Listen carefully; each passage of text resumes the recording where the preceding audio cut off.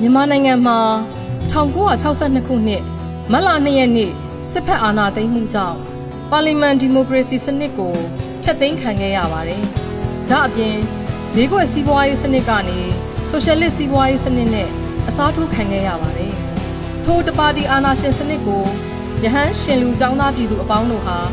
အခွင့်အခါတင့်တိုင်းအန်တုခဲ့ကြပါတယ်။ဒီလိုနဲ့1988ခုနှစ်မှာတော့ပြည်လုံးကျွတ်တပိတ်ကြီးဆင်နွှဲက ဆိုရှယ်လစ်အစိုးရ30ကိုငြိမ်းချမ်းစွာဆန္ဒပြခြင်းဖြင့်ခြုံငိမ့်စေခဲ့ပြီး1988ခုနှစ်စက်တင်ဘာလ18ရက်နေ့မှာစစ်ဖက်မှအာဏာသိမ်းကတပါတီစနစ်အစားပါတီစုံဒီမိုကရေစီစနစ်ကိုအစားထိုးခဲ့ပါတယ်။ဆိုရှယ်လစ်စီးပွားရေးစနစ်ကိုလည်းဈေးကွက်စီးပွားရေးစနစ်သို့ပြန်လည်ကူးပြောင်းခဲ့ပါတယ်။မြန်မာနိုင်ငံတဝန်းလုံးမှာရှိကြတဲ့တပိတ်အင်အားစုများဟာပါတီစုံဒီမိုကရေစီအတွက်ပါတီအသီးသီးကိုထူထောင်ခဲ့ကြပါတယ်။ထို့အတူ တက်ကြွတဲ့ចောင်းသားလူငယ်များနဲ့နိုင်ငံရေးလှုပ်ရှားသူများဟာလက်နက်ကင်လမ်းစဉ်ကိုရွေးချယ်ခဲ့ကြပါတယ်။1988ခုနှစ်စစ်ဖက်အာဏာသိမ်းပြီးနောက်မှာတော့နိုင်ငံရေးပါတီပေါင်း200ကျော်တည်ထောင်ခဲ့ရမှာအမျိုးသားဒီမိုကရေစီအဖွဲ့ချုပ်တည်လဲတခုအပါဝင်ဖြစ်ခဲ့ပါတယ်။မျိုးသားဒီမိုကရေစီအဖွဲ့ချုပ်ကိုစတင်တည်ထောင်စဉ်အခါကအခြေခံအားဖြင့်ဦးအောင်ကြီးဦးဆောင်သောအဖွဲ့ဦး အောင်ရွှေဦးဆောင်သောမျိုးချစ်ရဲဘော်ဟောင်းများအဖွဲ့နဲ့ဒေါအောင်ဆန်းစုကြည်ဦးဆောင်သောတက်တိပညာရှင်များအဖွဲ့တို့ပါဝင်ခဲ့ပါတယ်။1989ခုနှစ်ဇူလိုင်လအရောက်မှာတော့နိုင်ငံရေးပါတီများလွတ်လပ်စွာစည်းရုံးဟောပြောခွင့်ကိုစစ်ဖက်ကချင်းဆောင်ဟန်တားလာခဲ့တာကြောင့်စစ်ဖက်နဲ့ဒီမိုကရေစီအင်အားစုတို့အကြားထိတ်တိုက်ရင်ဆိုင်မှုများဖြစ်ပေါ်ခဲ့ရပါတယ်။1989ခုနှစ်ဇူလိုင်လ20ရက်နေ့မှာတော့ မြို့သားဒီမိုကရေစီအဖွဲ့ချုပ်မှဥက္ကဋ္ဌဦးတင်ဦးအထွေထွေအတွင်းရေးမှူးဒေါအောင်ဆန်းစုကြည်ဗဟိုအလုံးမှုဆောင်အဖွဲ့ဝင်တချို့နဲ့နိုင်ငံရေးခေါင်းဆောင်များလှုပ်ရှားသူများကိုစစ်ဖက်ကထိမ့်သိမ်းခဲ့ကြပါတယ်။အဲ့ဒီနောက်မှာတော့မြို့သားဒီမိုကရေစီအဖွဲ့ချုပ်ကိုဦးကြည်မောင်ကဦးဆောင်ခဲ့ပါတယ်။ဦးကြည်မောင်ရဲ့ဦးဆောင်မှုနဲ့အတူ1990ပါတီစုံဒီမိုကရေစီရွေးကောက်ပွဲကို မြို့သားဒီမိုကရေစီအဖွဲ့ချုပ်ကဝင်ရောက်ရှင်ပြိုင်ခဲ့ရာပြည်သူ့လွှတ်တော်ကိုယ်စားလှယ်485နေရာမှာ392နေရာအနိုင်ရခဲ့ပြီးရာဂိုင်နှုန်းအပြင်81ရာဂိုင်နှုန်းနဲ့တောင်ပြိုကမ်းပြိုအနိုင်ရရှိခဲ့ပါတယ်။1990ဇူလိုင်လအကုန်မှာတော့မြို့သားဒီမိုကရေစီအဖွဲ့ချုပ်မှရွေးကောက်ခံကိုယ်စားလှယ်များနဲ့ဗဟိုအလုံးမှုဆောင်ကိုယ်စားလှယ်များတွေ့ဆုံပွဲကိုရန်ကုန်မြို့ဘဝောင်ကျော်လန်းရှိဂန္ဒီခမ်းမမှာကျင်းပခဲ့ကြပြီး ရွေးကောက်ခံကိုယ်စားလှယ်များရဲ့စင့်လွှဲအာဏာကိုအကောင့်ထဲဖော်နိုင်ရန်ကိုစားပြုကော်မတီတရက်ကိုဖွဲ့စည်းခဲ့ကြပါတယ်။1990ခုနှစ်ဇူလိုင်လ28ရက်နေ့မှာထုတ်ပြန်ခဲ့တဲ့ဂန္ဒီကြေညာချက်လို့လူသိများတဲ့ကြေညာချက်အရစက်တင်ဘာလအတွင်းပြည်သူ့လွှတ်တော်ခေါ်ယူရန်တောင်းဆိုခဲ့သည်ကိုစစ်ဖက်က၎င်းတို့ရဲ့တင့်မြင့်ဆောင်60ကြေညာချက်ကိုကင်ဆွဲကလစ်လျူရှုခဲ့ပါတယ်ဒီလိုနဲ့ 1990ဩဂုတ်လအရောက်မှာတော့တိုင်းရင်းသားလူမျိုးများနဲ့နိုင်ငံရေးပါတီ22ပါတီကိုစုစည်းထားတဲ့လူမျိုးစုရေးရာမူဝါဒကော်မတီနဲ့မြို့သားဒီမိုကရေစီအဖွဲ့ချုပ်ဗဟိုအလုံးမှုဆောင်အဖွဲ့ရဲ့ကိုယ်စားလှယ်များဟာပြည်အောင်စုတိုင်းရင်းသားလူမျိုးများဒီမိုကရေစီအဖွဲ့ချုပ်ဌာနချုပ်ရုံးမှာဆွေးနွေးပွဲတရက်ကျင်းပခဲ့ပါတယ်။ထိုဆွေးနွေးပွဲမှတစ်ဆက်သဘောထားကြေညာချက်တရက်ကိုထုတ်ပြန်ခဲ့ရာ ဘဝအောင်ကျော်လန်းပူးတွဲကြေညာချက်လို့ထင်ရှားခဲ့ပါတယ်။အဆိုပါဘဝအောင်ကျော်လန်းပူးတွဲကြေညာချက်အရအပြစ်အခတ်ရက်စဲရေးမှသည်မျိုးသားရင်ကြားစစ်ရေးအထိပူးပေါင်းလှုပ်ဆောင်ရန်သဘောတူညီခဲ့ကြပါတယ်။ထို့အချိန်ကစစ်ဖက်ငြိမ်ပိအစိုးရဟာတိုင်းရင်းသားလူမျိုးများနဲ့အမျိုးသားဒီမိုကရေစီအဖွဲ့ချုပ်တို့ရဲ့စီးလုံးညီညွတ်မှုကိုမနှစ်မြို့ပဲပြည်သူ့လွှတ်တော်ခေါ်ယူရန်ကိုရှောင်ရှားပြီးတိုင်းပြူပြည်ပြူလွှတ်တော်အမိခံမတေချာမရေရာတဲ့ တင့်မြင့်ဆောင်60ကြေညာချက်ကို အကောင့်ထဲပေါ်ဖို့အတွက်1990စက်တင်ဘာလအရောက်မှာအနိုင်ရပါတီခေါင်းဆောင်များနဲ့လွှတ်တော်ကိုယ်စားလှယ်များကို မတရားဖမ်းဆီးခဲ့ကြပြန်ပါတယ်1990စက်တင်ဘာလကစတင်ပြီးစစ်ဖက်ဟာအနိုင်ရပါတီအပါအဝင်လွှတ်တော်ကိုယ်စားလှယ်များနဲ့ဒီမိုကရေစီအင်အားစုအသီးသီးကိုညီးမျိုးစုံနဲ့ဖမ်းဆီးအကျဉ်းချနှိပ်စက်ခြင်းများကိုစက်တိုက်ပြုလုပ်ခဲ့ကြပါတယ် 1992ခုနှစ်အတွင်းမှာတော့1990ရွေးချယ်ခံကိုယ်စားလှယ်များယာနဲ့ချီပြီးဖမ်းဆီးထိမ့်သိမ်းခံခဲ့ရပါတယ်1992ခုနှစ်မှ1995ခုနှစ်အတွင်းအမျိုးသားဒီမိုကရေစီအဖွဲ့ချုပ်ဗဟိုအလုံးမှုဆောင်အဖွဲ့ဟာပါတီကောင်းဆောင်များနဲ့ပါတီမှတက်ကြွသူများကို ပါတီမှထုတ်ပစ်ခြင်းမြို့သားညီလာခံကိုတက်ရောက်ခြင်းစသည့်အငင်းပွားမှုများရှိခဲ့တော်လဲ1995 ဇူလိုင်လ10ရက်နေ့မှာတော့ပါတီကောင်းဆောင်များနေအကျယ်ချုပ်ကလွတ်မြောက်လာပြီးနောက်ပါတီပြန်လည်စုစည်းမှုနဲ့အတူအငင်းပွားမှုများတထမ်းရက်ခဲ့ပါတယ်1996ခုနှစ်မှစတင်ပြီးစစ်ဘက်ဟာမျိုးသားဒီမိုကရေစီအဖွဲ့ချုပ်ခေါင်းဆောင်များအားအကြိမ်ကြိမ်ဖမ်းဆီးခြင်းအကြိမ်ကြိမ်နှိပ်စက်ခြင်းများကိုစင်ဆက်မပြတ်လှုံ့ဆော်ခဲ့ရာအသက်အန္တရာယ်လောက်ကျန်သည့်အထိကျူးလွန်ခဲ့ကြပါတယ်။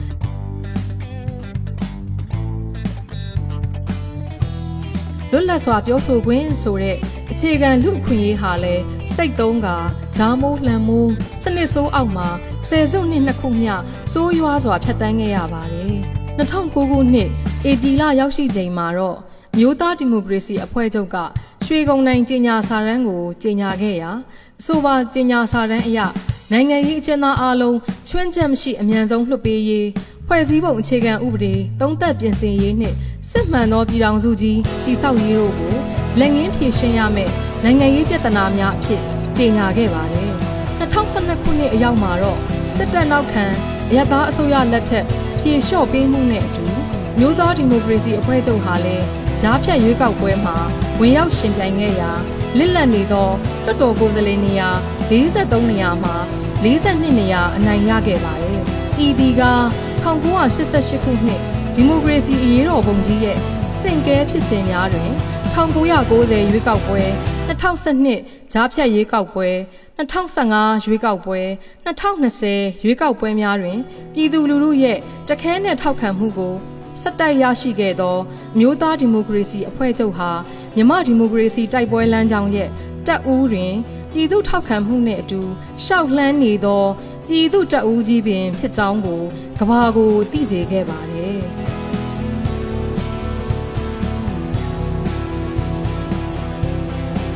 မျိုးသားဒီမိုကရေစီအဖွဲ့ချုပ်ဟာပါတီအတွင်းလူငယ်တောင်ပန်နှင့်မျိုးသမီးတောင်ပန်တို့ကိုလည်းဖွဲ့စည်းထားပြီးလူငယ်ညီလာခံနှစ်ကြိမ်ကျင်းပခဲ့ပြီးဖြစ်ပါတယ်။နှစ်ပေါင်း20ကျော်အတွင်းပထမဆုံးအကြိမ်ဖြစ်မြို့သားဒီမိုကရေစီအဖွဲ့ချုပ်ကပါတီတွင်လူငယ်ခေါင်းဆောင်တစ်တွေဖော်ထုတ်ဖို့ပြုလုပ်တဲ့ နိုင်ငံလုံးဆိုင်ရာလူငယ်ညီလာခံမှာပါတီဥက္ကဋ္ဌဒေါန်ဆန်းစုကြည်ကလူငယ်တာဝန်ခံတွေအနေနဲ့ကိုယူတဲ့တာဝန်နဲ့ပတ်သက်ပြီးမှန်မှန်ကန်ကန်လုပ်ဖို့လိုအပ်တယ်လို့ပြောကြားလိုက်ပါတယ်။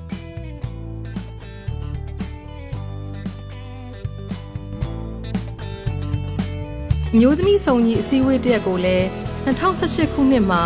နိုင်ငံလုံးဆိုင်ရာအဆင့်တစ်ချိန်ကျင်းပခဲ့ပါတယ်။လူငယ်ညီလာခံကို2014ခုနှစ်တွင်ပထမအကြိမ်2018ခုနှစ်တွင် နိုင်ငံလုံးဆိုင်ရာအဆင့်ဒုတိယအကြိမ်ကျင်းပခဲ့ပါတယ်။မြို့သားဒီမိုကရေစီအဖွဲ့ချုပ်နိုင်ငံလုံးဆိုင်ရာညီလာခံကိုတော့2013ခုနှစ်တွင် ပထမအကြိမ်2018ခုနှစ်တွင်ဒုတိယအကြိမ်ကျင်းပခဲ့ပါတယ်မျိုးသားဒီမိုကရေစီအဖွဲ့ချုပ်ရဲ့ဒုတိယအကြိမ်နိုင်ငံလုံးဆိုင်ရာပါတီညီလာခံကိုဇွန်လ23ရက်ကစပြီး MCC ခမ်းမမှာနေရကြပြုလုပ်နေပါတယ်။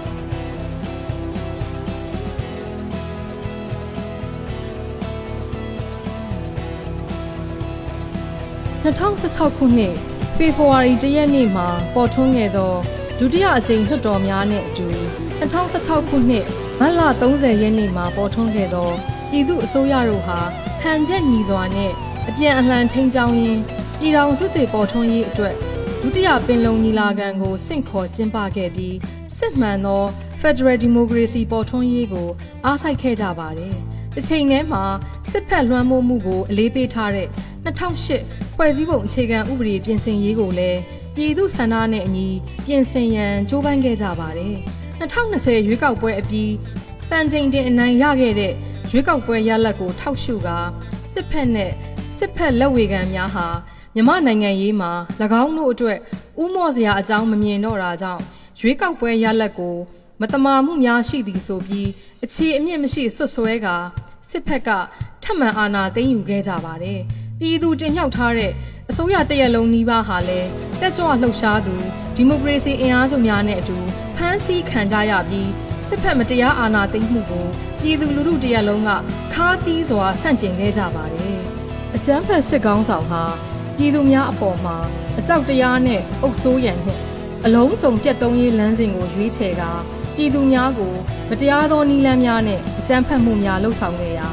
ပြည်သူတို့ရဲ့နေအိမ်များနဲ့ပိုင်ဆိုင်မှုများကိုဥပဒေမဲ့ချိတ်ပိတ်သိမ်းယူအနိုင်ကျင့်ခဲ့ကြပါတယ်။2022ခုနှစ်စက်တင်ဘာ10ရက်နေ့အထိချိတ်ပိတ်မှုဖြစ်စဉ်ပေါင်း486ခုရှိခဲ့ပြီးနစ်နာဆုံးရှုံးမှုပေါင်း995ခုရှိခဲ့ရာအမျိုးသားဒီမိုကရေစီအဖွဲ့ချုပ်ဟာလည်းအကြမ်းဖက်စစ်ကောင်းဆောင်ရဲ့အဓိကပြစ်မှတ်အနေဖြင့်ရှိနေခြင်းကြောင့် မျိုးသားဒီမိုကရေစီအဖွဲ့ချုပ်ပါတီဝင်များနဲ့ပါတီဝင်ကိုယ်စားလှယ်များရဲ့နေအိမ်ချိတ်ပိတ်ခံရတဲ့ဖြစ်စဉ်ပေါင်း282ကြိမ်ပါရှိခဲ့ပြီးဆုံးရှုံးနစ်နာမှုပေါင်း326ခုပါဝင်ခဲ့ပါတယ်။အမျိုးသားဒီမိုကရေစီအဖွဲ့ချုပ်ရုံးများကိုလည်းရည်ရွယ်ချက်ရှိရှိဖျက်ဆီးခဲ့ရမှာယနေ့အထိဖျက်ဆီးခဲ့တဲ့အကြိမ်ပေါင်း132ကြိမ်ရှိပြီဖြစ်ပါတယ်။နိုင်ငံနဲ့အဝမ်းဥပဒေမဲ့မတရားဖမ်းဆီးနှိပ်စက်တပ်ဖြတ်ခံခဲ့ရတဲ့အရက်သားပြည်သူပေါင်းဟာ 3043ဦးရှိနေပြီးအဲ့ဒီအထဲမှာမှပါတီဝင်ကိုယ်စားလှယ်2ဦးနဲ့ပါတီဝင်52ဦးတို့ကပါဝင်ခဲ့ပါတယ်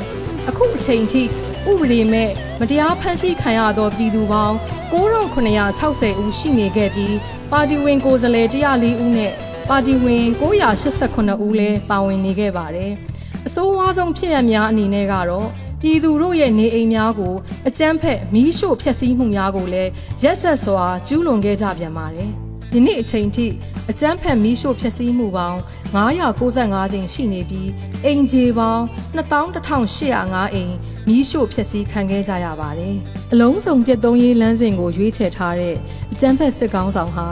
ဒီမိုကရေစီလိုလားသောမြန်မာပြည်သူတရက်လုံးကိုချိန်မှုံရင်းလူသားမျိုးနွယ်ပေါ်ဆန့်ကျင်တဲ့ရာဇဝတ်မှု ပြစ်မှုပေါင်းများစွာကိုကျူးလွန်လျက်ရှိပါတယ်။အကြမ်းဖက်စစ်ကောင်ဆောင်ရဲ့အထူးပြစ်မှတ်အနေနဲ့ချိန်မုံခံနေရတဲ့မျိုးသားဒီမိုကရေစီအဖွဲ့ချုပ်ဟာစစ်ဖက်လွှမ်းမိုးမှုချုပ်ငြိမ်းရေးအတွက်ຫນွေဦးတော်လှန်ရေးကိုပြည်သူနဲ့အတူဒီနေ့တိုင်းဆက်လက်ချီတက်လျက်ရှိပါတယ် NLD ပြည်သူတွေနဲ့သတားတဲ့ဂျိုပါတီရောင်နေသွေးရဲရဲ တောက်လန့်နေလူတွေရဲ့အသေးမှာ NLD ကဘာတခုလုံးတိမပြုတ်ပါတီပါရလူမျိုးခွဲကြတဲ့သူနေ Federal